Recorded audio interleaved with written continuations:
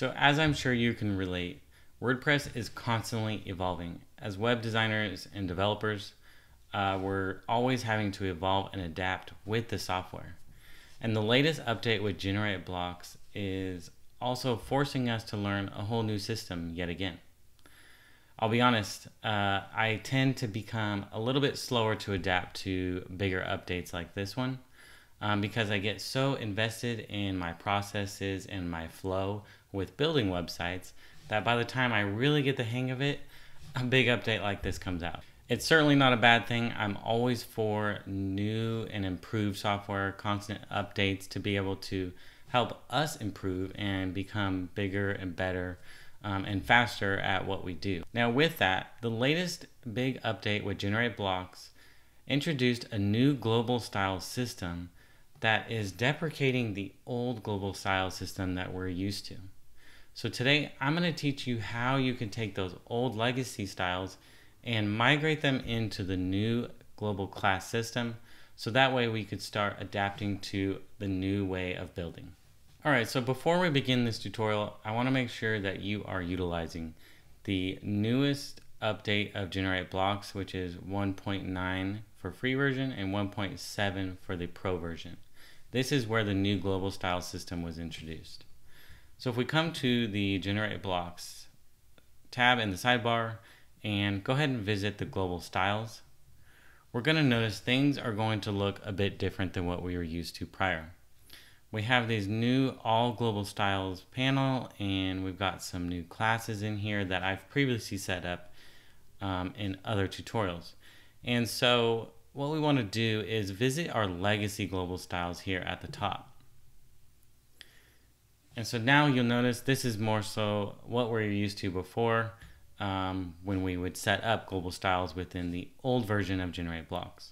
It will tell you at the top this global style system is deprecated. Um, you can edit and use these styles, however, you cannot add new ones. So it's important to really adapt to this new class system in order to not have your websites become too outdated and unusable. All right, so I'm gonna go ahead and jump into this legacy global style I have, and this is a button style that I have previously set up, um, and it's a blue button, right? And so if you come up here again, this is the old way of doing it. The global styles, we have a label called blue button, and it generates that um, global style class for us previously. However, in this new version, what we want to do is migrate all of these styles, right? So my colors, um, my spacing settings, all of that, we want to migrate it into the new global style system while maintaining the same look uh, as we have currently. So if we click on the new panel here where it says add or create style, um, you'll notice your cursor starts to blink there and you need to type in a new name for the global style class that you want for this blue button.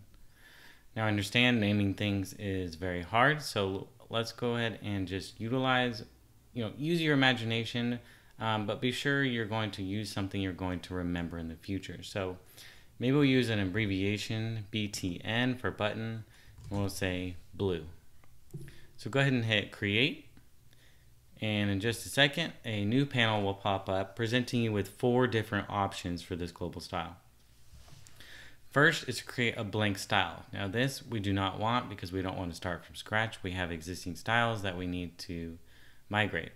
Second is choose or clone an existing style. We don't want to do that either. That's just not how that what we're trying to achieve. And third is the copy the local block style. So this is what we want because this is the local, this styles are set locally on this block. And so we're gonna go ahead and select, select copy so that it'll take the styles that we have already set up here and move them into our new button blue global style. So we'll say start editing. And here we have it. So now you'll see at the top, we have a purple bar to indicate that you're in the global styles settings and your class is going to be indicated at the top. So if we come to spacing, you'll notice my padding is visible. Um, if we come to background, we've got a background color now. Um, however, in the new styles, you'll see we have to switch over to hover state to be able to see the hover color. So the background color is pulled in there as well. All right, so just make sure to review all of the settings have migrated to this new global style class. And what we do is go ahead and hit the back arrow, hit the X, and now we're back in the regular editor that we're used to. And what you'll notice is now there's two different classes applied to this block. It's our button blue and then local styles.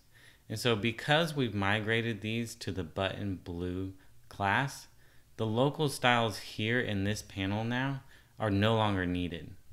So what we can do is hit the X on the local styles to delete them and it's going to confirm that you want to do that and say yes. So now you'll see, even though we removed those local styles, um, nothing has changed about the look of our button. It, everything stayed exactly the same because our styles were migrated to the new class. All right, so what we'll do is come to the top and go ahead and hit update. And you'll notice that it'll say now there are two changes that are going to be made, a global styles change and the legacy global style change. So we're gonna go ahead and hit save because it's now telling us there's two different elements of styles that we're saving. So if we go ahead and jump into a page, um, let's say uh, about page, and we'll say edit this page. And we want to insert this new button here below as a click to book. So, book, I say book and I type book. So we type out button to insert a new button block with generate blocks. Open up our panel here as you can see below my headline. And now instead of utilizing this old legacy global style system, we want to add the new global style system we set up with that BTN blue class. So choose that drop down and choose your button. And you'll notice, what the heck, why didn't anything change? That's not what my button looks like. Well, by default, GenerateBlocks applies a set of local styles to the button block itself. And so you'll see here we have this little light pink um, class that says this block has local styles. So if we click that to remove those, and there you have it. Now our button um, is represents the true style of our button blue global style. So we can go ahead and hit update and we can come to the front end of the page here and you'll see there's our button. Now if you're wanting to go in and now edit this button you can do this anywhere that the button exists across your site as long as you are viewing the class. So since we inserted it on this page, we know this is our button blue. You click that global class, and now you'll notice every time you see that purple header at the top, that's going to be when you're in the global style itself. It's probably one of the trickiest parts of adapting to this new system is making sure you understand which panel you're in in editing um, so that you don't accidentally apply local styles to your global style, right? So we don't want to duplicate those in because because then when you go to add this same button on another page, the local styles you added here are not going to carry over on the new page itself. All right, so now that we have that in place and our new global style is migrated, what we can do is go to generate blocks, global styles again, come to our legacy global styles, and we can actually just delete our legacy global style completely. We'll just say trash. All right, so I hope that was helpful in demonstrating to you how you can migrate those old legacy global styles into the new class system. Keep in mind you can utilize this for any of the global legacy styles you have previously set up, whether that was for containers, um, headlines, uh, whatever it might be, you utilize that this same exact process that I showed you today with the button. Always be sure to just choose that third option in the new global style to copy to a new global style. And then once you're done creating that new global style, remove the local styles from the block, save it, and then you're happy to delete the old legacy global styles out of your generate blocks library. Thanks again for watching and keep an eye out for more future videos utilizing this new Generate Block class system.